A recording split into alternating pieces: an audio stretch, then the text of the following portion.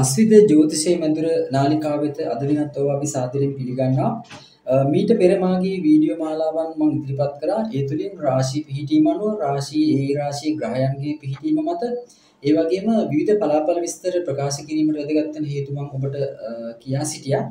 අද දිනත් ඔබට මම අමුතු ආකාරයේ කියන්නේ පොඩක් වෙනස් ආකාරයේ දෙයක් ඔබට මම ඉදිරිපත් කරන්න බලාපොරොත්තු වෙනවා. ඒක තමයි මේ ග්‍රහ සංයෝග පිළිබඳව. ග්‍රහ සංයෝග ග්‍රහ සංයෝගයක් කියන එක එකතු වුණාම දෙදෙනෙක්ගේ එකතුවක්. ඒතකොට මේ ග්‍රහ සංයෝග තුලින් කොහොමද ඔබට පලාපල කතින් මේ කොහොමද වැදගත් වෙන්නේ? ඒ වගේම ඔබගේ ජන්ම පත්‍රයේ ග්‍රහ සංයෝග කොයි ආකාරයකට පිළිහිටලා තියෙන්නේ? ඒ ඒ ග්‍රහයන් ජන්ම පත්‍රය තුල පිහිටීමෙන් ලැබෙන ප්‍රතිඵල මොනවද කියන එක පිළිබඳව ඔබට ඔබම විස්තරයක් නැත්තම් යම් දැනුමක් ඔබට ලබා දෙන්න මම අදහස් කරනවා. ඇත්තටම සංයෝගයක් කියලා අපි දැන් සංයෝගයක් කියලා අපි සාමාන්‍යයෙන් විවහාරය කිව්වට සංයෝගයක් කියන්නේ ග්‍රහයන් දෙදෙනෙක් එකලඟ සිටි බවනින් අපි සංයෝගයක් කියන කතාව අපිට කියන්න බෑ. මොකද සංයෝග වෙන්න නම් ග්‍රහයේ අපි සාමාන්‍යයෙන් දන්නවා යම් අංශක ප්‍රමාණයක් ලං වෙන්න ඕනේ. යම් අංශක ප්‍රමාණයක් ලං වුණාම තමයි අපි සංයෝගයක් විදිහට හඳුන්වන්නේ. එහෙම නැතුව ග්‍රහයන් දෙදෙනෙක් එකම රාශියේ සිටි බවනින් අපිට කියන්න බෑ ඒක සංයෝගයක් කියන එක. එතකොට අංශක ප්‍රමාණයෙන් ග්‍රහයක් දෙදෙනෙක් ලං වීම මත තමයි සංයෝගයේ ප්‍රබලතාවය රඳා පවතින්නේ. අපි සාමාන්‍ය විකාරය අපි සාමාන්‍ය කියනවා දැන් අංශක 28ට වඩා 28ට වඩා ලඟ වුණොත් තමයි මේ සංයෝගයේ ප්‍රබලතාවය කියන එක අපි ප්‍රබල සංයෝගයක් විදිහට අපිට හඳුන්වන්න පුළුවන් වෙන්නේ. ඒ වගේම තමයි දැන් ග්‍රහ සංයෝග ගැන කතා කරනකොට අපි දැන් දන්නවා රවි සහ ගුරු කියන රවි සහ ගුරු කියන ග්‍රහයන් සමග යම් ග්‍රහයක සංයෝග වුවහොත් විශේෂයෙන් රවි සහ ගුරුගේ බලය ඉස්මතු වෙලා පෙන්නනවා අනිත් ග්‍රහයන්ගේ බලය බොහෝ අවස්ථාවලදී දුර්වල වෙනවා. හැබැයි බුධ සහ සඳු වැනි ග්‍රහයෙක් ගත්තොත් බුධ සහ සඳු වැනි ග්‍රහයෙක් සමග යම් ග්‍රහයෙක් සංයෝග වුණොත් එහෙම මොකද වෙන්නේ බුධ හා සඳුගේ බලය අඩු වෙලා අනිත් ග්‍රහයන්ගේ බලය වැඩි වීමක් දැක් ගන්න පුළුවන් වෙනවා.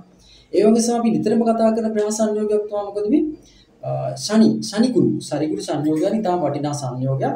එතන මේ ශනි ගුරුගේ සංයෝගයේදී අපිට බලාපොරොත්තු වෙන්න පුළුවන් දේ තමයි මොකද්ද? ශනිගේ බලය අඩු වෙලා ගුරුගේ බලය ඉස්මතු වෙලා පෙන්වන අවස්ථා බොහෝ අවස්ථාවල තියෙනවා. අන්න මේ වගේ කරුණු සිතේ රඳා ගන්න රඳා ගන්න ගනිමින් තමයි ඔබ මේ ඉදිරියට මේ සංයෝග පිළිබඳව ඔබ සාකච්ඡා කරන්න ඕනේ. එතන අපි බලමු විශේෂයෙන් ග්‍රහ සංයෝග ගැන කතා කරනකොට අංශක 28ක ප්‍රමාණය ලං වුණොත් තමයි ග්‍රහයේගේ රශ්මි වලල් නැත්නම් ග්‍රහයාගේ රශ්මිය අනිත් ග්‍රහයත් එක්ක එකතු වෙන්නේ කොහොමද? ඒ තුලින් සංයෝග වෙන්නේ කොහොමද කියන බලපාන නම් ග්‍රහය අඩුම තරමේ අංශක 28කට දුරින්වත් ඉන්න ඕනේ. දැන් ඒ වෙන අවස්ථාවක තමයි අපි නියමඵල මේ ලැබෙන්නේ. නැත්නම් ඒ අංශක 28කට වඩා දුරින් හිටියොත් දැන් දුරින් නැති අවස්ථාවලදී මොකද වෙන්නේ? ඒ සංයෝගී නියමඵල ලැබෙන්නේ නැහැ. දැන් අංශක දැන් අංශක ගන්න සමාන ග්‍රහයන්ගේ අපි දන්නවා දැන් රශ්මි මාලාව ගැන කතා කරනකොට අපි විශේෂයෙන්ම රවි සමග සංයෝග ග්‍රහයාගේ ගොඩක් අවස්ථාවලදී කියනවා ඒ අනිත් ග්‍රහය අස්ත වෙනවා කියලා කියනවා. මොකද රවිගේ තියෙන රශ්මියේ අනිත් ග්‍රහයක බලයෙන් වැඩපවත් වෙනවා. හැබැයි ඒක එහෙම නොවන අවස්ථාවක් විදිහට අපි දා ගන්න පුළුවන් මොකද මේ රවි බුධ සංයෝගය. ඒතර රවි බුධ සංයෝගයේදී රවි හා බුධ එකතු වීම විශේෂ හොඳ යෝගයක් විශේෂයෙන් ධනු ලග්නකාරයක් විශේෂයෙන් හොඳ හොඳ වූ සුබ බල දෙන යෝගයක් තමයි රවි බුධ යෝගය කියලා කියන්නේ. ඒතර මේ යෝගයේදී රවිගේ අස්ත වීම නොසලකා හරිනවා අර වගේ රවි බුධ සංයෝගයේදී. අපි බලමු අද බලමු රවිචන්ද්‍ර. රවිචන්ද්‍ර සංයෝගී ගත්තොත් එහෙම රවි සහ සඳු එකතු වීම ඇත්තටම හොඳ පිහිටීමක්. ඒතර මේ වගේ අයට විශේෂයෙන් ස්ත්‍රීන්ගේ බොහෝ දුරට උදව් උපකාර ලැබෙනවා. ඒ වගේම තමයි මෙවැනි අය ප්‍රකටවම එන්නේ මේ මේම රවි සහ චන්ද්‍ර කියන දෙනා ඉන්න ස්ථානීය ගති ලක්ෂණ ප්‍රකටව පෙන්වීමේ හැකියාවක් තියෙනවා මේ රවි සහ සඳුගේ සංයෝගයේ වීම මත. ඒ වගේම තමයි ඉඩකඩම් දීපල වගේ දේවල් මෙයාලට ගොඩාක් හිමිවීමේ හැකියාවක් තියෙනවා මේ රවි චන්ද්‍ර සංයෝගයේ.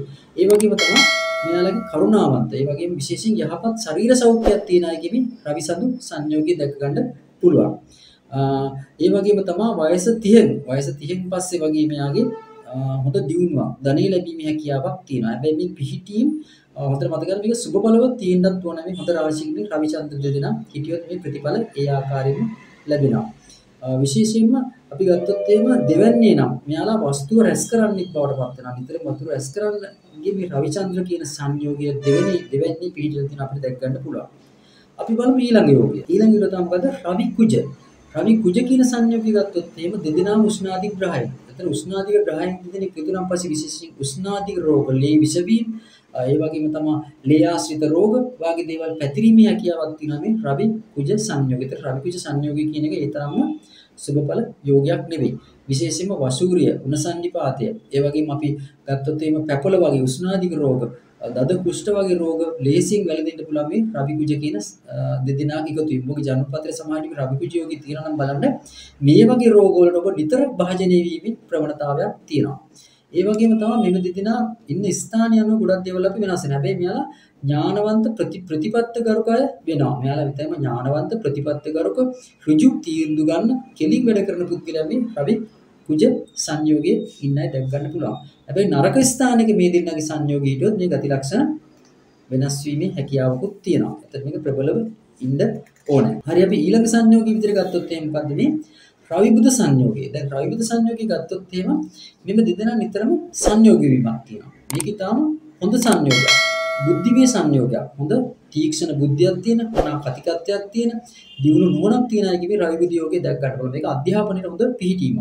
ධනු ලග්න කාර්යයන්ට මේක විශේෂයෙන් හොඳ සුබ බල දෙන පිහිටීමක් තමයි රවි බුද යෝගය ධර්ම කර්මාධිපති යෝගය කියන හොඳ පංචබල පුරුෂ යෝගී යෝගයක් යෙදෙනා මේ රවි බුද යෝගයේ වීමෙන් වශයෙන්. ඒ වගේම මෙයාලා මෙයාලා එකතු වීමද නරකට හිටියොත් මෙයාලා නෑයන් අතේ විරුද්ධකම් ඒ වගේම තමන්ගේ වචන ප්‍රකාශ කිරීමේ ඇතිවන දුර්වලතා මත විවිධ ඇතුළ ගැටීම් හැලැප්පීම් වගේ දේවල් සිදු වෙනවා මේක නරකට හිටියොත් නැත්නම් මේක හොඳට හිටියොත් හොඳ පිහිටීමක් විදිහට අපි ගණන් ගන්න පුළුවන්. මේදී රවිගේ අස්ත වීම සලකන්නේ නැහැ. ඊළඟ මොකද රවිගුරු සංයෝගය. අපි ඊළඟ යෝගය බලමු. රවිගුරු රවිගුරු යෝගයක දැන් රවි සහ ගුරුගේ යෝගය ගත්තොත් එහෙම මේ දෙදෙනාගේ පිහිටීමත් ඉතා හොඳයි. මොකද යහපත් ශරීර සෞඛ්‍යයෙන් යුක්ත හොඳ මධ්‍යස්ථ මොලයක් තියෙන අයගේ මේ රවිගුරු යෝගී අපිට දැක් ගන්න පුළුවන්. මෙයාලා විතර මේ මධ්‍යස්ථ මොලයක් තියෙනවා. ඒ වගේම තමයි මෙයාලා ප්‍රසිද්ධ චරිත ප්‍රසිද්ධ පුද්ගලයන් බවට මෙයා පාවිච්චි ඒ වගේම ගෞරවාන්විත හොඳ වාක් ශක්තියක් තියෙන ගෞරවාන්විත අයගේ මේ රවිගුරු සංයෝගය අපි දැක් ගන්න පුළුවන්. විශේෂ පඬිත නැත්නම් හොඳ දැනුම පිළිබඳව බුද්ධියක් තියෙන අයගේ මේ රවිගුරු යෝගය දැක් ගන්න පුළුවන්. ඒ වගේම මෙම යෝගයේ නිරෝගී ශක්තිමත් සිරුරක් ඇති කරන්නත් හේතු වෙනවා මොකද්ද මේ රවිගුරු කියන සංයෝගය. මල්ලව පොර විවිධ අපි දන්න විවිධ ආත්මාරක්ෂක සටන් වාගේ දෙන්නාගේ මේ රවිගුරු යෝගය දැක් ගන්න පුළුවන්. බලන්න ඔබගේ ජන්මපත්‍රයේ රවිගුරු යෝගයේ යහපත් ස්ථානික පිහිටලා තියෙනවාද කියලා පිහිටලා තියෙනවා නම් ඔබගේ ශරීරය තාම ශක්තිමත් හොඳ නිරෝගී සිරුරක් බිහි කරගන්න එක රවිගුරු යෝගයේ හේතු වෙනවා.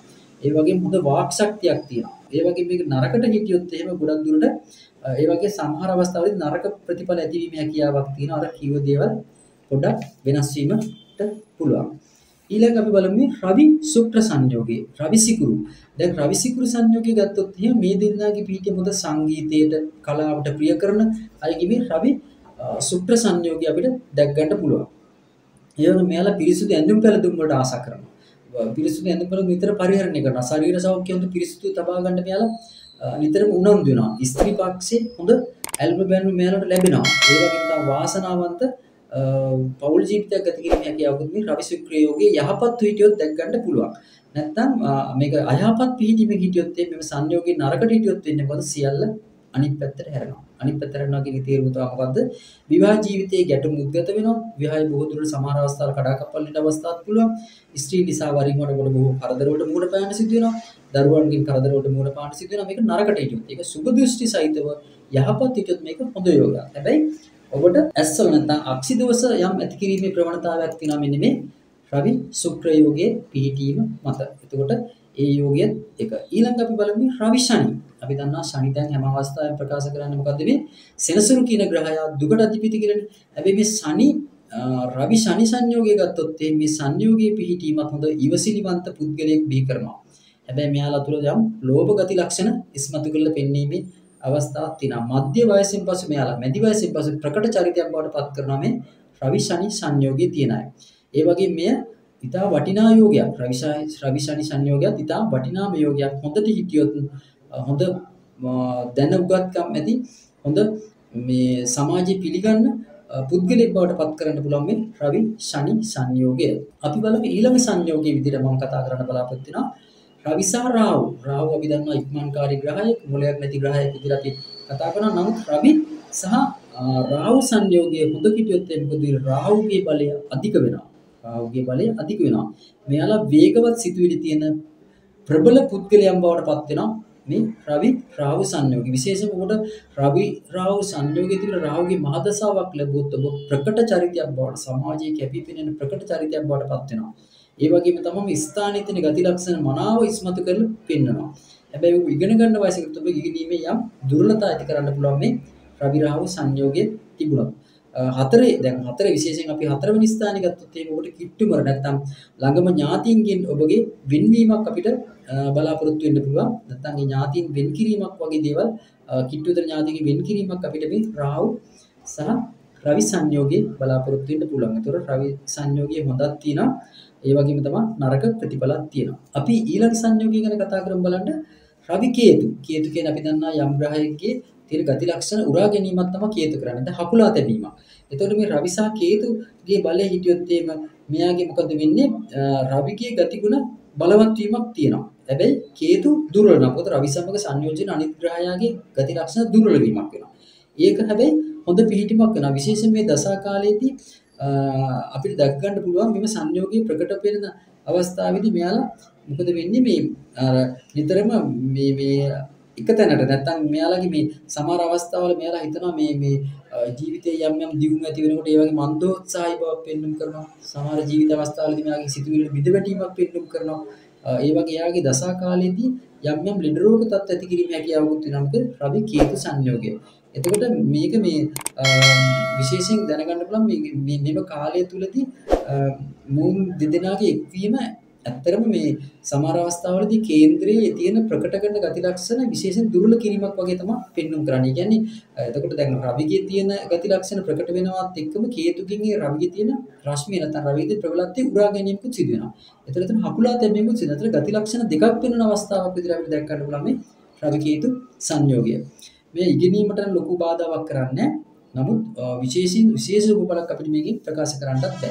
හොඳයි. අද මේ මෙතෙක් සාකච්ඡා කරපු පිළිබඳව බොහෝ අවධානය කරගන්න ඔබගේ ජන්ම පත්‍රය බලන්න. මගේ ඊළඟ වීඩියෝෙදී මම තව ඔබට විස්තර දෙන්න බලාපොරොත්තු වෙනවා.